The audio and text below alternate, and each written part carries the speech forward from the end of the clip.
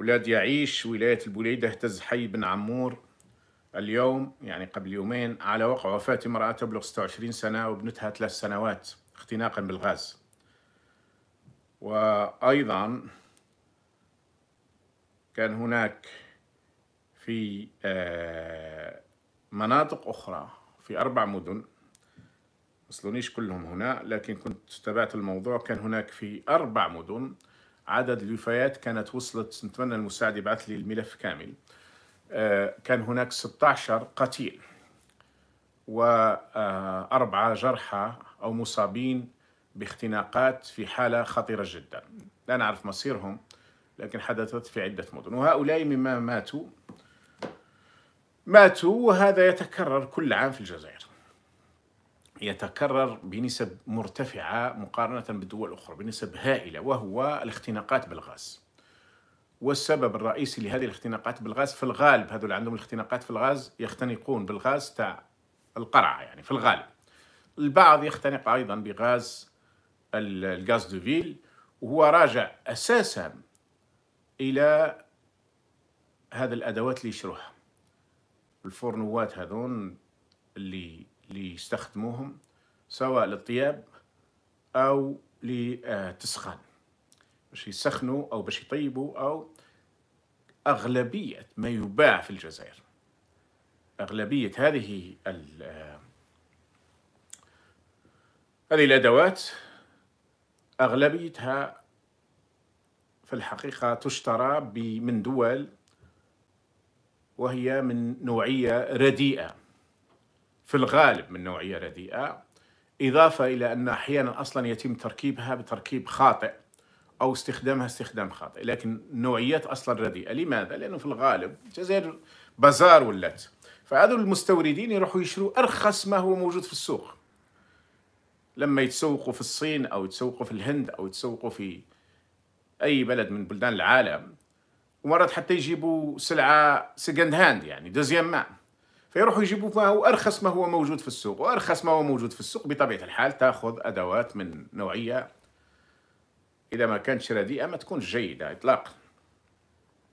هنا يرجع على من تعود المسؤولية تعود على المسؤولية على اللي ماسك الرقابة نتاع دخول السلع على الجمارك وعلى مجموعة من الأجهزة اللي تدفع لها أموال واللي دورها المفروض هو دور رقابي لكنها ما تقومش بدور رقابي لأنهم إما آه، فاشلين وما يعرفوش يقوموا بالعمل إما مرتشين إما الاثنين. في الغالب تلقاهم فاشلين ومرتشين يعني. اللي جايب سلعة نتاع 50 مليار ولا 100 مليار تاع فرنوات تاع طياب ولا تاع تسخان والله يمد منهم 500 مليون أو مليار وتفوت ال... آه، تفوت الأمور حتى بدون رقابة حتى بدون تتبع حتى ويموتوا الناس. لأن في الغالب هذا مش موجود في الأسواق؟ بعض الأشياء اللي هي معقولة أو هي عندها مستوى معروفة أنها على مستوى آه، جيد عالميا هذه تلقاها غالية جدا ولا يشتريها إلا أولئك الذين لديهم إمكانيات مادية بحق.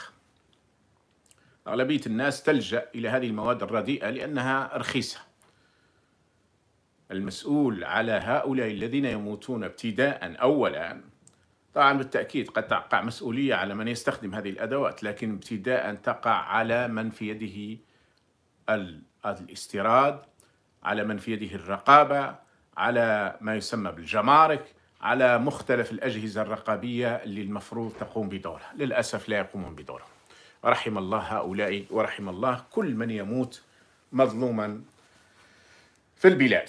ليس ذلك فحسب لعلكم تابعتم. أول أمس انفجار في مركب غازي المركب الغازي الرئيسي في سكيكدا واللي أدى إلى قتل أحد العمال وجرح تسعة آخرين. بعضهم جروحهم سيئة. وهذا مرة أخرى راجع لمشكل رئيسي وهذه ليست أول مرة هذه الانفجارات في سكيكدا أو في حسير مل أو في حسيم سعود راهي تحدث بشكل مستمر. يكاد يكون بشكل شهري كاين هناك واحيانا بشكل أسبوعي واحيانا ما نسمعوش بهم يعني خاصة في الجنوب. في سكيكدا نسمعوا بها لأن هذا المركب مش بعيد على وسط المدينة مش بعيد على السكان. الناس تشوف واش يحدث تشعل فيه النار الناس تشوفها في المدينة كلها. وهاي آخر ما حدث هو موت هذا العامل اللي كان المفروض يقوم بالصيانة وتسعة آخرين. طبعا راح ما يسمى بالوزير وما يسمى بالمدير العام للصناعات إلى آخره وباش يغموا الحالة لأن المشكل مرة أخرى في هذا الوضع هو الصيانة وأنهم لا يقومون بأعمال الصيانة وبالأعمال الرقابية التي يجب أن يقوموا بها. في مصنع هائل مثل هذا ودوره خطير في الاقتصاد الوطني لأن الجزائر لا تصدر إلى غاز وبترول بكل أسف فإنهم لا يقومون. وكثيرين يعتقدون أن هذا المصنع اللي موجود في سكيكدة هو قنبلة موقوتة ستنفجر يوما وقد تؤدي إلى مقتل المئات أو حتى الآلاف لا قدر الله. ولذلك أنا أوصي من هنا أهل سكيكدة أن لا يتسامحوا في هذا الموضوع. وما تقولش أنا راني بعيد على زوج كيلومتر ولا ثلاثة كيلومتر ولا خمسة كيلومتر من هذا المكان. ممكن ما توصليش راه اذا وقع هذا الانفجار لا قدر الله قد يؤدي إلى دمار المدينة بأكملها.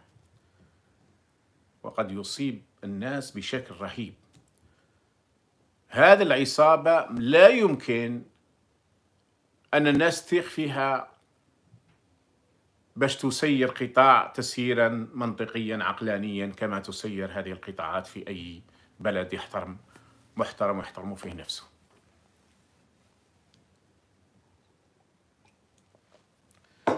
وكما قلت هذه الأحداث مش جديدة. يعني راهي حدثت في عدة أماكن آخرها. شفنا في البيض أعتقد قبل سنة أو وانفجر هذاك ال pipeline وأدى إلى قتل عدد من الأشخاص وإلى هلع وإلى خوف. ومن حين لآخر تشوف بالتصوير الناس يصوروا حتى أيضا قبل أسابيع فقط. كانت الناس صوروا أن هناك تسرب للغاز وخبروا في إحدى المدن نسيت المدينة وخبروا صنع الغاز وخبروا الجهات لكن ما جاوهمش وقع الانفجار.